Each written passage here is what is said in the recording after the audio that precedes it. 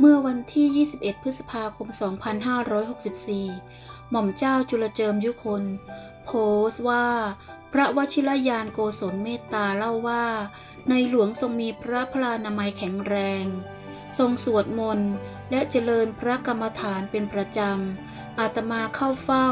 ถวายงานพระองค์ ทุกวันพระทุกอย่างเป็นปกติดี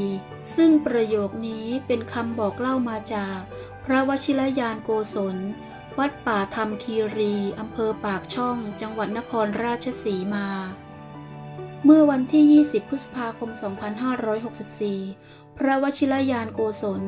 เดินทางกลับจากพระบรมมหาราชวัง เมตตาเล่าให้คณะสิทธิ์ฟังว่าเมื่อวันพุธที่ 19 พฤษภาคม 2564 ตรงกับวันพระ ขึ้น8ค่ำเดือน7ทรงพระกรุณาโปรดเกล้า ให้คณะสงฆ์วัดราชประดิษฐ์ สถิตมหาสีมาราม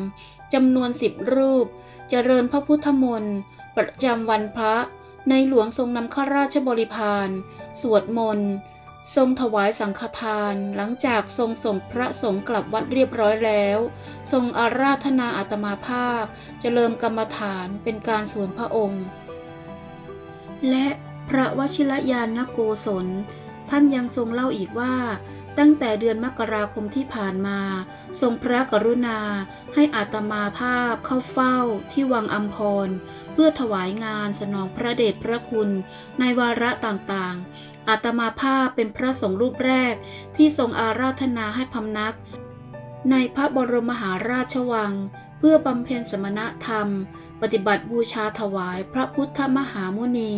รัตนปฏิมากร และถวายงานส่วนพระองค์ต่อเนื่อง เป็นเวลา 12 วัน ต่อมาทรงพระกรุณาให้ถวายงานทุกๆวันพระ